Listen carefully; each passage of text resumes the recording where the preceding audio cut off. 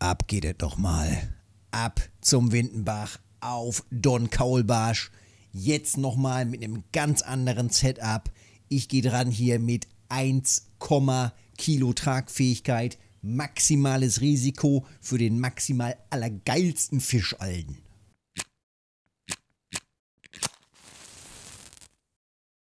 Legen wir los. Gerade das Set zusammengebaut. Hoppala. Gerade das Set zusammengebaut ähm, dreimal. Ich stelle mich jetzt hier einfach nochmal hin an den Windenbach. Ich will es nochmal wissen, Alten. Und schmeiße jetzt hier auf Don Kaulbarsch dreimal äh, das Set wieder raus auf Winkelpicker, weil auch in den Qualifikations-Challenges äh, Winkelpicker abverlangt wird. Sonst hätte ich gerne auch sowas wie eine normale Fieder genommen und baller jetzt hier raus und hoffe auf richtig geile Drills und es geht auch instant los. Sehr gut. Ich habe noch nichts getestet. Ich war gerade noch eben äh, kurz am Ladoga und habe da ein bisschen rumprobiert. Äh, ja, ein kleiner Fisch ist dran. So, und jetzt muss ich erstmal gucken, wie ich hier die Bremse einstellen kann mit diesem leichten Setup und auf was ich jetzt hier achten muss bei dem Gewicht. Ich habe gerade mal so auf 10 Meter geklippt, aber ich glaube, ganze 10 Meter komme ich gar nicht raus. Ich bin hier, glaube ich, so bei 7 bis 8 Metern vielleicht und zack, da geht das nächste Ding los. Also, gerade eben spontan hier hingereist und es bimmelt los. Spontan hier hingereist und es bimmelt an allen Ecken und Kanten. Sehr gut. Ich glaube, ich höre gerade alle drei Bimmeln gleichzeitig. So Moke wieder. So soll das sein. Hier ist schon wieder der nächste Biss. Was habe ich ausprobiert? Ich habe die Invisible Schnur genommen. Die unsichtbare sozusagen. In Mono. Und damit hoffe ich jetzt auf den ultimativen. Ähm, was hatten wir zuletzt immer verwendet? Wir hatten zuletzt immer die, wir hatten zuletzt immer die ähm, Microbraid. 2,8 Kilo Microbraid. Natürlich auch wahrscheinlich eine Idee zumindest. Oh, zurzeit gehen die Nasen hier, ey. Ähm, jetzt muss es einfach weitergehen. Ähm, ich glaube, ich ändere gleich mal die Wurfreichweite. Also die Wurfweite bis 10 Meter da hinten, das ist mir schon echt zu viel. Ist der Clip überhaupt noch drin oder habe ich ihn... Nee, er ist, glaube ich, raus und deswegen wundere ich mich hier auch schon die ganze Zeit. Ich, stimmt, ich habe ja die Rolle gewechselt. Ich mache mal hier, ich mache mal hier auf 9. Machen wir mal 7, 9. Naja, macht eigentlich auch keinen Riesenunterschied. Ne? Machen wir mal hier so eine 9 Meter ran. Und hier machen wir hier mal kurz, mittel und weit. Und dann gucken wir mal, ob da was geht. Wobei so halt, wie gesagt, um die 7, 8 Meter ist doch immer machbar.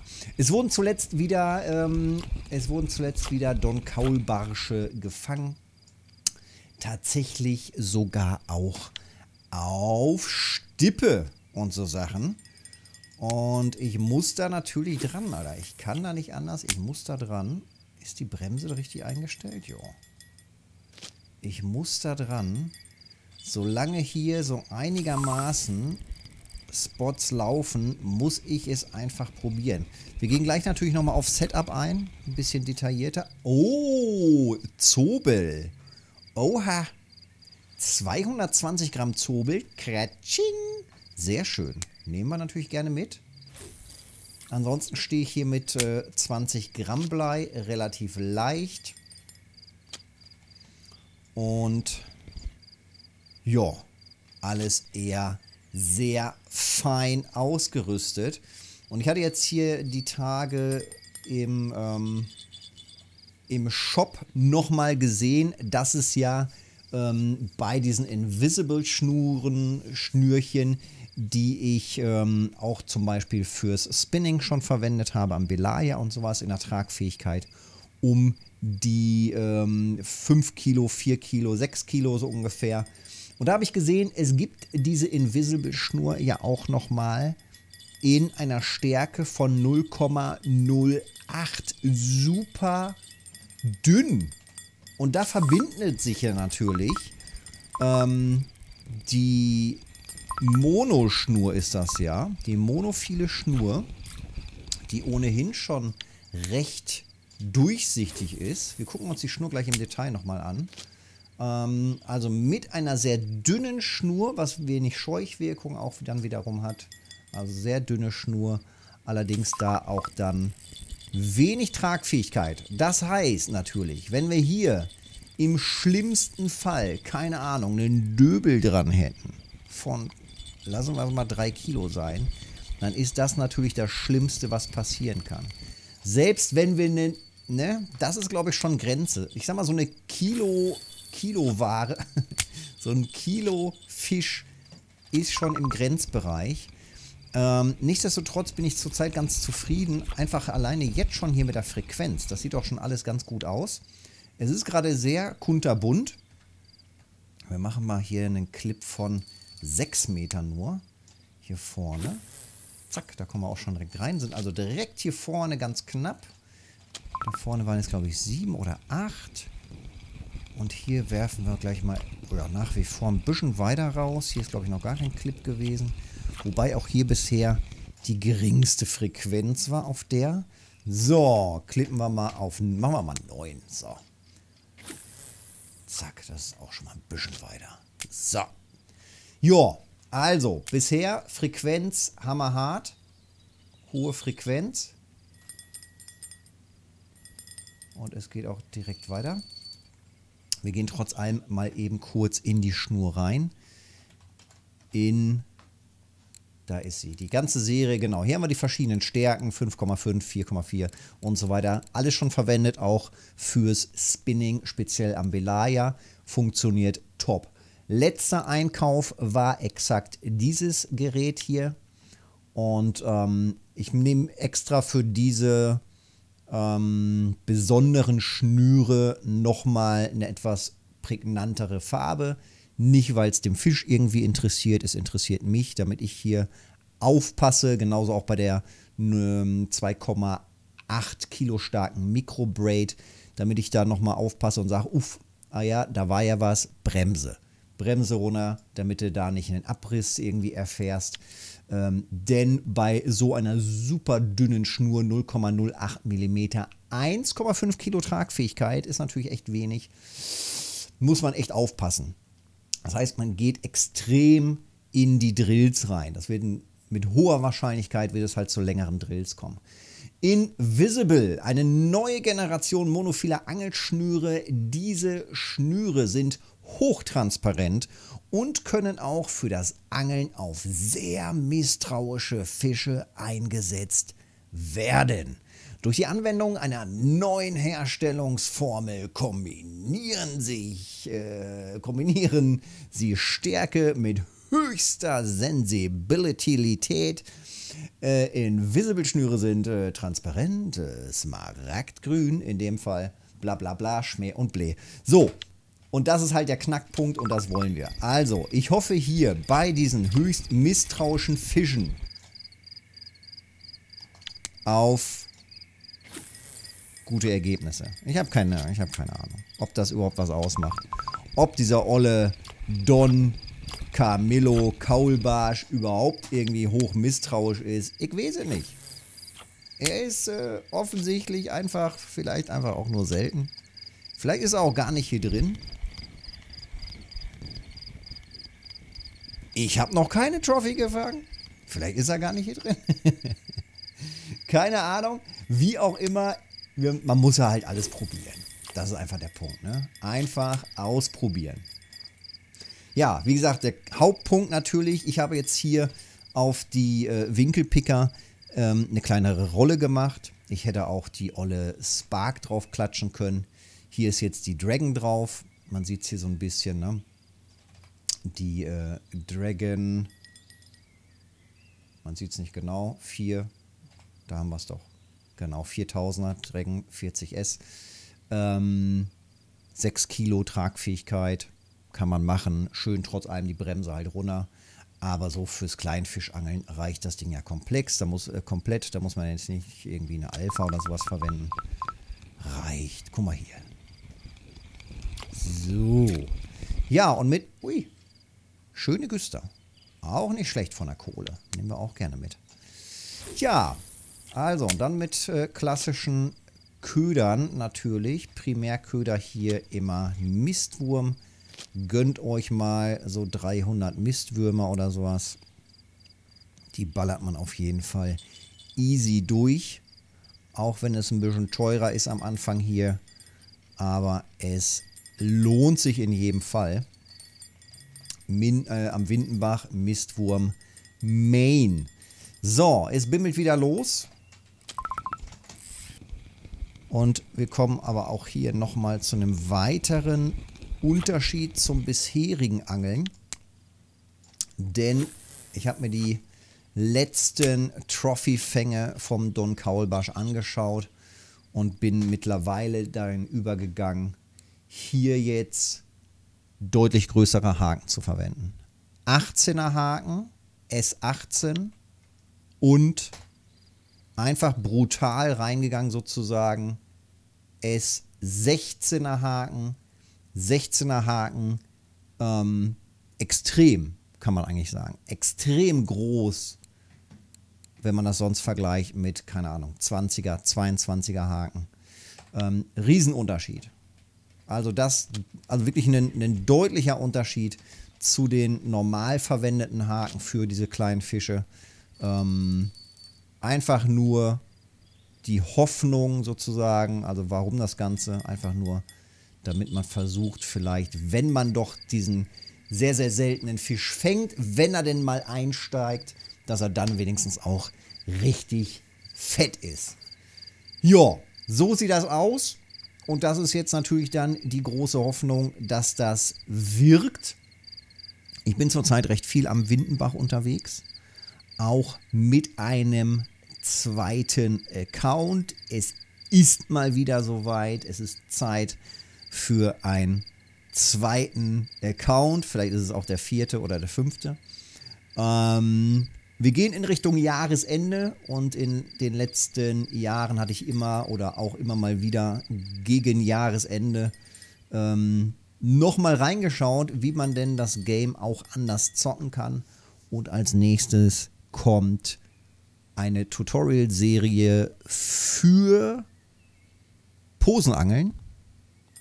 Pose Main. Für mich bisher uff, ich kann nicht an, also muss wirklich sagen, alter, Stippe und so Sachen, aber ich muss da durch.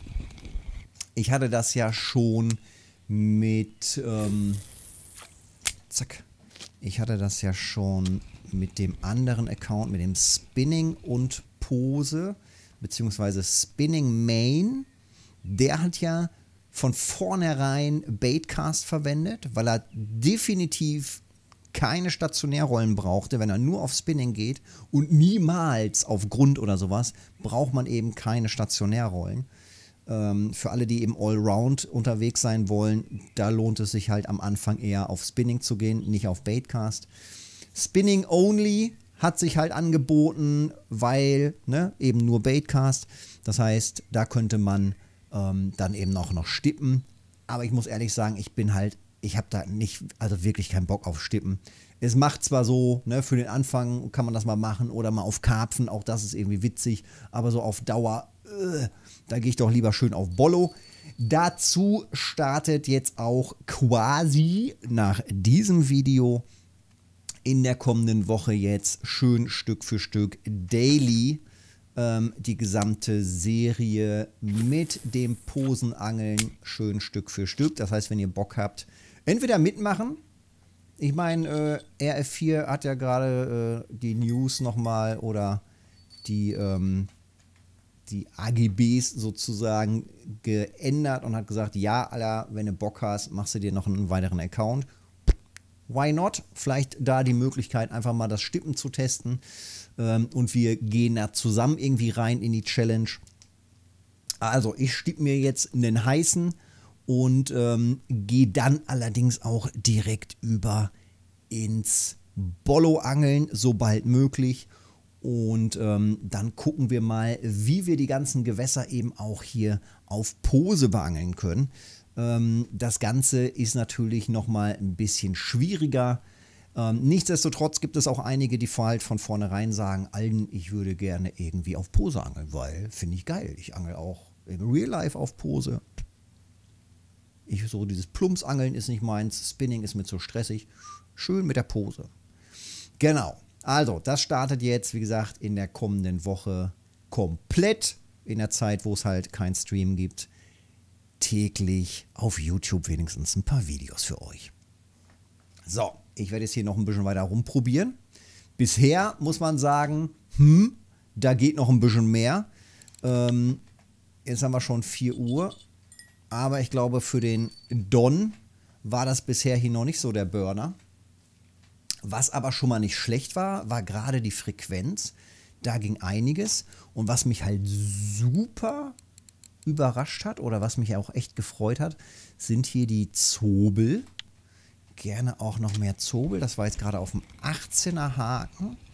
Echt guter, maßiger Fisch. Vielleicht ballern wir einfach mal für einen Zobel hier nochmal so eine Borkenkäferlarve rein. Und gucken, was da noch mit drauf geht. Und da zuppelt es wieder los. Guck mal hier. Oha. Der nächste. Ja, ja. Im Grenzbereich. Was haben wir hier Schönes? Eppa. Alter, ein Aaland. Der darf aber auch nicht dicker werden. Ne? Also, raus damit mit dieser dünnen Schnur. Ähm, ich habe diese dünne Schnur auch verwendet schon, wie gesagt, als äh, nur als Vorfach. Heißt also, wenn ihr die Möglichkeit habt, auch Vorfächer äh, herzustellen, dann auch das mal ruhig testen. Ähm, wenn ihr sagt, Alter, das ist mir aber alles viel zu teuer, die Schnur hier kostet um die 70 Silber herum, das ist wirklich natürlich Angeln auf einem ganz anderen Niveau. Das ist nichts für Anfänger. Ähm, und wenn ich mir die letzten Rekorde auch anschaue, immer wieder mit absoluten Basic Setup wurden hier die Fische gefangen. Letzter Rekord, den ich gesehen habe, war auf einer ganz normalen, äh, ich glaube auf dem Starter-Set war es von der Route her. Oder es war sogar die Sorrento, war es die, war es die Sorrento und mit der Spark.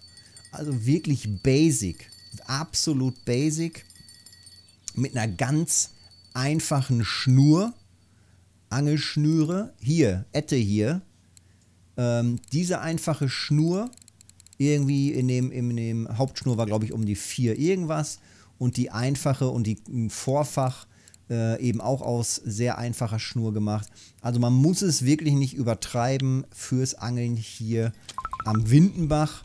Ähm, wie gesagt, wenn man dann irgendwann mal alles hat im Game und irgendwie auch keine wirklichen anderen Sorgen mehr hat im Game, dann macht man halt so einen Spöks, wie ich jetzt hier mit äh, Level 40. Dann probiert man halt, ne? Und versucht es halt irgendwie noch zu optimieren und so weiter. Jetzt guck mal an, Alter. Immer auf dieser mittleren hier. Ich muss gleich noch, ich guck mal eben direkt. Immer auf der mittleren gehen hier die Zobel rein. Wie viel Meter bin ich denn hier geklippt? Ist das wirklich hier? Eingeworfen? Ne, warte. Ist das hier wirklich auf 9 Meter. Das ist aber ein Ding, ey. Also das ist ja jetzt schon, das war jetzt aber schon sehr auffällig. Immer wieder auf 9 Meter, 16er Haken. Wir machen das jetzt hier auch. Der bimmelt sich ja auch schon heißen. Zobel. Also wenn das hier, hier ist Nase. 9 Meter. Gleicher Haken, alles gleich. Werfen wir auch mal da so hin. Zobel ist ein sensationeller Fisch. Wenn man hier ein paar Zobel ziehen kann, gerne auch den ganzen Tag über, dann kann man übelst die Kohle machen hier. Übelst. Muss man ja testen. Ne, jetzt kommt ja auch noch so weit wie ein Barsch rein. Alter, 400 Gramm. Ja, also, wie gesagt, nicht abschrecken lassen davon, dass es hier natürlich auf einem hochwertigen Setup oder dass ich hier mit einem hochwertigen Setup unterwegs bin. Ähm, dafür starte ich ja auch regelmäßig mit diesen neuen Accounts, damit ich auch wirklich sagen kann, okay, selbst mit einem Basic-Account, wenn man nichts hat an Kohle, wenn man wirklich ohne Premium hier angelt und wenn man wirklich auch mit dem angelt, was man sich selber erwirtschaftet, schafft man es an der und der Stelle erfolgreich zu angeln und mit dem und dem Setup zu angeln. Also wirklich mit den Basics kann man eben sich auch hier genauso hinstellen und was rausziehen. Und wie gesagt, in der nächsten Woche dann die Videos zum Posenangeln und auch da natürlich ohne Premium und weiß der Geier was. Da gönne ich mir äh, nicht irgendwie auf den Zweit- und Viert- und Dritt-, Fünft- und Accounts, wie auch immer, ich weiß gar nicht mehr, wie viele es mittlerweile sind, gönne ich mir natürlich nicht irgendwie Premium oder so weiter. Also, ich ziehe jetzt hier noch ein bisschen was raus. Ähm, 21 Fischis hier mittlerweile. Guck mal, die, die, Bar, die paar, die jetzt gerade zuppeln, die nehmen wir nochmal eben mit. Mich würde halt sehr interessieren, ob hier noch mehr Zobel gehen. Das wäre halt mega gut. Hatte ich die Stelle eigentlich schon gezeigt, wo ich hier bin? Alter, wieder Güster, auch sehr gut, ey. Also, zack, hier Windenbach, hier ist direkt die Insel, hinter der Insel, äh, zweite, zweiter Angelspot sozusagen. Hier war auch vor ein paar Wochen schon der Don schön und aktiv. Bisher bei mir leider noch kein Don, aber auch hier wieder Zobel, selbst auf der Borkenkäferlarve. Ich werfe noch mal ein bisschen weiter raus. Das wäre sensationell, wenn hier mehr, mehr Zobel gehen. Das wäre richtig gut. Ui. Ui, ui, ui, ui, ui, ui, ui, ui, ui, ui. Nö, nö, nö, nö. Alter, 100 Meter Schnur nur drauf. Aber es müsste gehen. 100 Meter Alter, was machst du denn hier, ey? Ach, Quatsch, Rotauge, übertreibe nicht, ey. Das Kilo Rotauge ging auch easy rein, ne? So, ich würde sagen, wir gucken noch mal eben kurz rein. Zobel interessiert mich gerade von der Kohle her und Güster. Wenn man hier noch ein bisschen mehr rausziehen kann, mega gut. Das wäre es halt jetzt. Schauen wir noch mal eben was die so bringen. Kaffeeaufträge muss ich natürlich auch checken. Immer Kaffeeaufträge checken. Windenbach, das A und O sind die Kaffeeaufträge. Guck mal, Don ist sogar drin gerade. Don bringt übelst die Kohle. Guck mal hier, 80 für einen so einen fetten Don. Guck mal, Nasen habe ich leider noch nicht, waren aber auch an der Stelle. Nasen läuft auch. Güster, die Nase läuft auch. Vier Stück. Na, die verkaufen wir jetzt aber noch nicht. Da fange ich bestimmt gleich nochmal eine kleinere. Ähm, Güster kriegen wir auch für 21 Silber los. Safe. Beziehungsweise wir gucken mal eben hier rein. Nach Preisen sortieren. Und wir sehen hier, naja gut, um die 4 Silber für so ein Zobel. Das ist doch ganz okay. Die werden natürlich auch noch ein bisschen dicker. Der Bachsaibling ist raus. Den verkaufen wir eben. Der zählt hier nicht rein. So, jetzt stimmt das Ganze. Ähm, Zobel, Rotauge auch ganz nett im Kilobereich natürlich. Kleinste Güster ist die hier, bringt drei Silber. Ich verkaufe also mal eben hier die Güster ähm, im Café. Dann haben wir das auf jeden Fall safe. Was hat das in Gänze gebracht? 28. Also verkaufen wir die hier nach Gewicht sortieren. Zack. Und das sind 21 plus da hinten noch. Barsche mache ich auch eben voll. Also Kaffeeaufträge ohne Ende. Immer wieder gut, ey ähm, in den paar Minuten jetzt, das waren jetzt knapp 50 Silber. Und da hinten ziehen wir halt jetzt noch ein bisschen mehr raus. Also, Petri, ihr Lümmels, zieht raus die Brocken. Ich freue mich auf ja, nächste Woche. Wie gesagt, da sehen wir uns komplett nur auf YouTube, beziehungsweise bis nächste Woche äh, Freitag. Freitag geht es dann auch wieder in den Livestream ab 19 Uhr. Und danach natürlich, wie immer, montags, mittwochs, da wäre sie gewesen, die Güster. Montags, mittwochs und freitags geht es dann weiter bis Jahresende ab 19 Uhr, auch auf Twitch, aber natürlich auch, noch weiter auf YouTube. Wenn dir das Ganze gefallen hat, trotz allem natürlich hier einen äh, Daumen gerne da lassen für den maximalen Support. Gerne auch den Kanal abonnieren. Das hilft wahnsinnig. Vielen Dank dafür. Wenn du noch ein paar Angelkollegen hast, gerne natürlich auch weiterempfehlen für die Mundpropaganda, die hilft. Und dann sehen wir uns ja, im nächsten Video oder dann Freitag wieder. Freitag den, was haben wir denn dann? Ah, da ist er. Der 19. ist es. Freitag, der 19.11. geht's dann in den Livestream. Bis dahin, Petri.